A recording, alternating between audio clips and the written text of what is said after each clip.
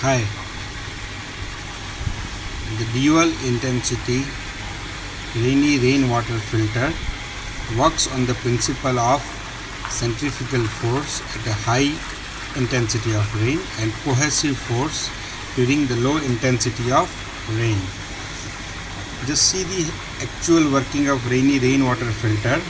It can very well handle rainwater load right from 50 to 500 square meters of roof area and up to 75 mm per hour of discharge capacity.